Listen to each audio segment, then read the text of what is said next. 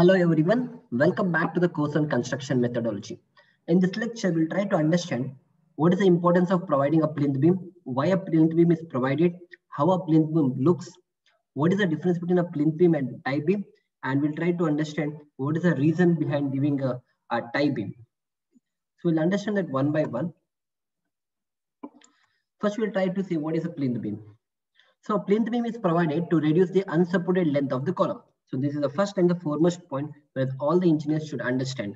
The plinth beam is provided to reduce the unsupported length of the column. The second point is that the plinth beam is provided to carry the masonry load and transfer it to the column from there to the footing and from there to the soil, right? It has to carry the load from the masonry wall. From that plinth beam, it will be transferred to the column and from the column, it will be transferred to the footing and from the footing, ultimately the load has to be transferred to the soil. So this is how the load path happens. So since the masonry wall cannot be laid directly on the soil to transfer the load, we are going to provide the plinth beam, right? Because we cannot directly rest the masonry wall directly on the uh, PCC. And from there, we don't, we cannot expect the load to be transferred directly to the soil. So to carry that load, we are going to provide a plinth beam. Uh, so that is the second reason of providing the plinth beam.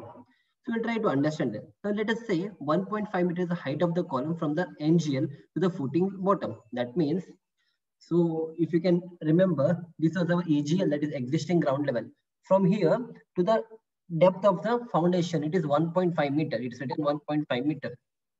So let's say 1.5 meter is the height of the column, height of the column from NGL to the footing bottom, to the bottom of the footing. And from the NGL, that is from NGL or EGL, one and the same, from EG, NGL to the first floor slab level, right? So this is my plinth level. I mean, yeah, this is my plinth level or the ground level. And from here, my column will go for another three meter.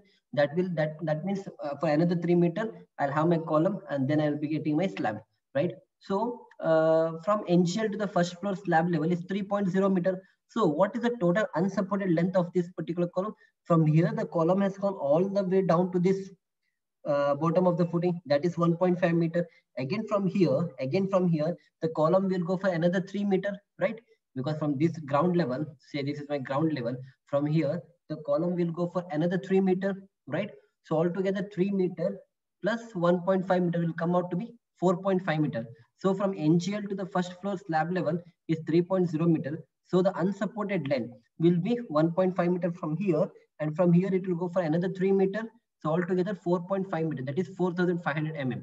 So what will happen because of this? And let's say the column it is supporting. Let's say the size of this column is 300 mm by 300 mm. 300 is the length of the column. I mean, L is a L and B is 300 mm. So we'll try to see this again. So from strength of material concepts, uh, we, we know that L effective, L effective by least lateral dimension of the column. If it is less than 12, then we call this as a short column. In the same way, L effective by least lateral dimension. Least lateral dimension that is either a breadth or a depth of the uh, column. If it is greater than 12, then we call it as a long column. So this is what we have learned from the strength of material concepts. Now we'll try to apply that here. From the equation, now let us see what is L effective. This is my effective length, right? 4.5 meter. So 4500 mm divided by B or D. B is the breadth of the column and D is the depth of the column. But in my case, both both the uh, breadth and the depth is 300 mm. So I'll take 300 mm here. So 4,500 divided by 300 comes out to be 15. So, and we know that 15 is greater than 12. So if it is greater than 12, then it becomes a long column, right? So to make this column short, to make this column short, we provide a beam. We provide a beam that is called a plinth beam. So what, what actually we are doing? We're actually decreasing the length of the column. So by decreasing the unsupported length of the column, by inserting a beam that is called a plinth beam. Because if I don't insert this beam, what will happen? My column will become a long column. And if my column is a long column, then again I have to consider those additional moments of MAX and M MAY, and also my size of the column will increase. So I don't want all those things to happen, and I want I don't want to design for all those additional moments. So what I'm going to do, I'm going to insert a column, I'm going to insert a beam, so that what will happen, that effective length, which was 4.5 meter, now it will get reduced. Now it will get reduced. That is, we'll try to see that diagram again. So what, what happens, look at this. I'm, provi I'm providing a plinth beam here. So this 1.5 meter and from here another three meters. So in between that, I'm going to put a beam. So what will happen? That the length of this height of this column will reduce now, right? So only from here to here, we have to cast 1.5 meter of the uh, column. And from here to here, we have to cast three meter of the column. In between that, there is a beam that is called a plinth beam. So what will happen? It will reduce the length of the column. Yeah. So, uh, so that is what if I need to design this as a long column only, then we have to, we have to consider those additional moments of MAX and MVY, MVY, and also the size of the column and the addition and the reinforcement requirement will be more. So as a structure engineer, I don't want to take that risk. So because of that reason, what I'm going to do, I'm going to give a uh, plinth beam. If I don't want to give a plinth beam, then to design it considering the additional moments like a sl slender column. So this is how it looks. So this is what I was speaking about. See, this length is 1.5 meter, right? Right. This is 1.5 meter from, you know, uh, this is plinth beam. This is a plinth beam. This is my column. From this column to this top of the footing, it is 1.5 meter. And from here to here, this is this is my, you know, plinth beam. This is my plinth beam. And from plinth beam to the first floor, right? So this is my three meter. This is not exactly three meter. Let us consider three meter. Okay, because uh, your beam is going to come and then slab is going to come. So all that will become three uh, three meter. Let us for for instance, let us consider this height is three meter, and from here to the bottom that you can see here, it is 1.5 meter. So if I don't provide this particular beam, if I don't provide this plinth beam, say if I don't provide this plinth beam, what will happen? This column is going to buckle this way. So in order to stop this buckling, in order to stop this buckling, what I'm going to do, I'm going to insert this beam. So this beam will, what will happen because of inserting of this beam, this length of the column which is 4.5 meter. Now got reduced to 3 meter here and from here it's going to be 1.5 meter again. So this length beam is going to break this you know length of the column into 3 meter and 1.5 meter. That's the first reason. Second reason is again we have to put a masonry masonry wall above this. Uh, and in order to carry the load of the masonry wall we are going to give the plinth beam. So these are the two reasons for giving the plinth beam so this is how it is. So this 3 meter plus 1.5 meter, 1.5 meter comes out to be 4.5 meter. So 4.5 meter uh, divided by, I mean 4,500 divided by 300 mm, if the size of the column, then it is greater than 12, then it becomes a long column. And if it is long column, it's going to fail by buckling. This way it's going to buckle. So I don't want all those things to happen. That is why I'm going to give this beam. This is called a plinth beam. So same example holds good for tie beam. So look at this.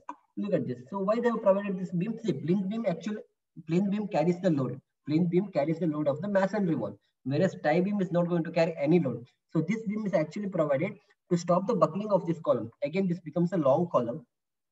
So I don't want this column to buckle again. So since I don't want to I don't, since I don't want this column to buckle, what I'm going to do, I'm going to insert a beam here. If I don't insert a beam, then what will happen? This length of this column will increase if the length increases, then uh, L effective by least lateral dimension will, be greater than 12, then it becomes a long column.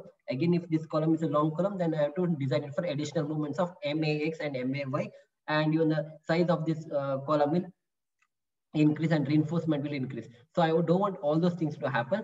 So what I'm going to do, I'm going to give this beam, this is called as tie beam. So this tie beam is not going to carry any load on it. It has to carry only the self weight of this particular beam. Otherwise, the main intention of giving this tie beam is to break the length of the column and to stop this you know um, buckling effect. So this is how they are given. So this is how they are given a tie beam in each and every of the place right? So this is how they are given the tie beam. So what will happen if you don't give the tie beam? This is how your beam is this is how your column is going to buckle and uh, yeah this is how it's going to buckle. If you this, this see uh, when when i say it's going to buckle it can buckle in both ways. It can buckle in this way as well as in this way. Whichever is a minor axis from, from there it's going to buckle. But here what is happening it cannot buckle in this way because on the, on the upper portion you can see the truss right? So this this is going to stop it from buckling. So it's going to buckle in this way because there is no one to hold him to this side. So that is why the beam is even on this side. Just in case uh, if this was not then we should have uh, done the design and uh, based on the design we, we would we would have uh, uh, considered giving the we would have considered giving it on this side or the other side. So this was the importance of providing a plinth beam and, uh, and a tie beam. So plinth beam actually carries the load of the masonry wall and the main intention is to reduce the length of the column and to make it as a short column. The same idea is behind the tie beam. Only the thing is that tie beam will not carry any load coming on it. There is no masonry wall above this. Whereas on the plinth beam, we are going to keep the masonry wall Uh, that is the main reason of giving a plinth beam. So we'll see you. Uh,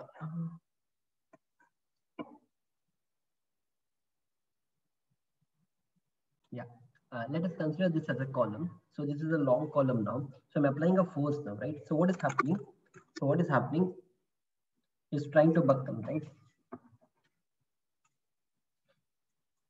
It's trying to buckle. So this is a property of a long column. Suppose if I consider this as a short column, now this is a short column compared to this column. This column is short column. So this column won't buckle. This column won't buckle. I'm trying to put a force. This column won't buckle. So short column will fail by compression, whereas long column will fail by buckling. So this is how the buckling is happening. This is how the buckling is happening. So if I want to stop this buckling, I cannot do, I cannot reduce the length of the column. So what is the alternate to that? I'll insert a beam called as a plinth beam or a tie beam. So what will happen by inserting this beam? Look at this buckling. This will get straight, right? See, this is buckling is happening here. By inserting this plinth beam or tie beam, this buckling is reduced now. So that is why that is why you provide the plinth beam or plinth beam or tie beam. So by providing this plinth beam, what is happening? This buckling is reduced. This buckling is reduced. Now you should look at now you should observe one thing. This buckling is happening on this side, right? Not on the other side. It's not happening this way. It's not happening this way. It's happening only in this way because this is the minor axis of the column. So this is the minor axis of the column. That is why the buckling is happening here. So because of that reason, I'm going to provide a plinth beam in this direction. Suppose imagine the buckling was happening from this side. The buckling was happening this way. Then there's no point in giving plinth beam here or a tie beam here. Since the buckling is happening here, I'll give my plinth beam or a tie beam in this position, from this position. So what will happen again? So this buckling will stop and this will become a short column again. So this is the main idea of this is the main idea behind giving the uh, plinth beam or a tie beam. I hope you understood this. Thank you and we'll see you back in the next video.